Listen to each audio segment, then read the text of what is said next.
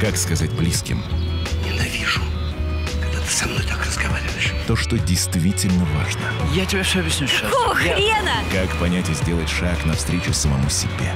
Просто партизан. Ни слова враг. Через свое отражение в окружающих. Ты вообще, ты совесть вообще имей, понял? И возможно ли найти путь, который должен привести к любви В смысле? Прямо я ухожу. и принятию друг друга Кто умер, Жень? Прекрати меня мучить, папа!